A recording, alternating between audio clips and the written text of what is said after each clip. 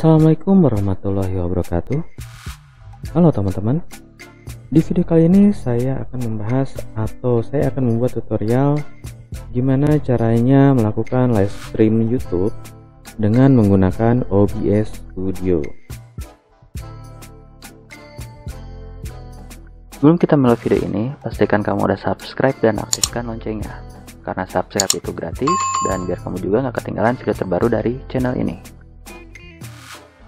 Sebelum memulai live stream, di sini saya akan menyesuaikan terlebih dahulu skin yang saya akan gunakan untuk live stream di YouTube ya.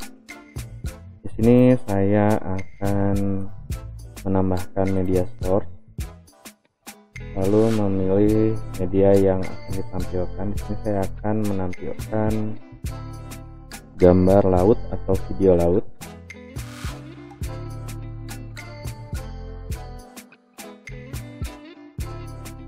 setelah itu saya sesuaikan dulu ukurannya.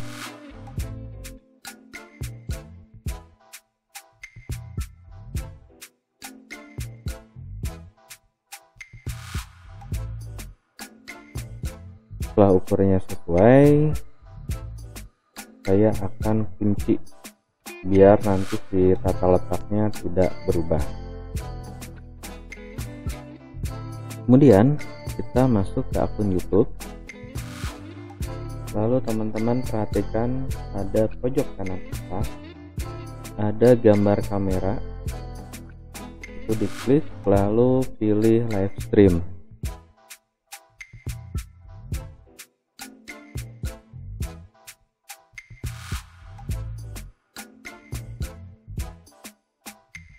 Setelah muncul tampilan seperti ini, kita lakukan beberapa kustomisasi dulu dengan menekan tombol edit.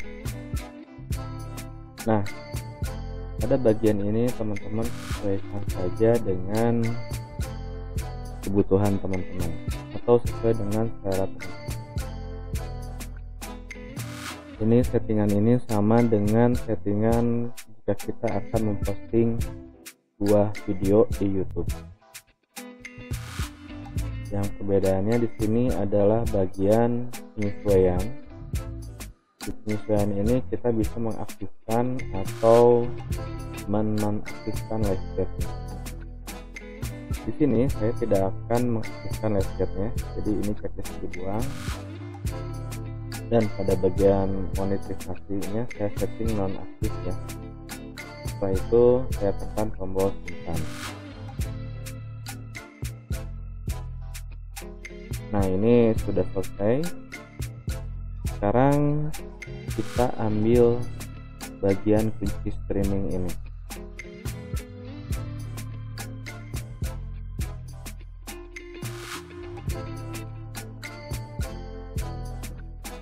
Setelah disalin setelah diambil kita kembali lagi ke OBS Studio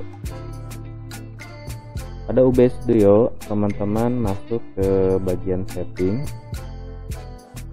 Lalu pilih bagian stream.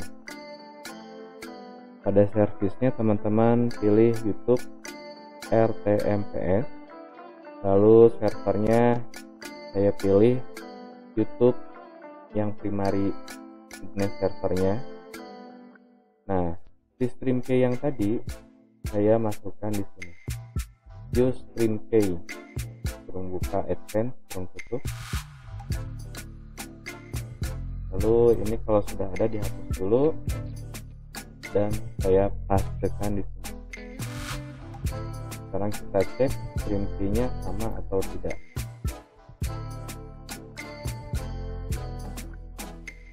Ini stream key-nya sudah sama. Kalau udah sama kita tekan tombol play lalu oke. Setelah teman-teman melakukan konfigurasi yang tadi teman-teman tinggal menekan tombol start streaming. Lalu pastikan di sininya ada gambar hijau atau ada warna hijau aktif di sini. Dan pada bagian YouTube harus sesuai dengan tampilan yang ada di OBS studionya baru teman-teman bisa melihat di video yang sudah teman-teman atau stream teman-teman yang dibuat tadi. Ini kalau belum muncul aja teman-teman bisa tekan tombol refresh.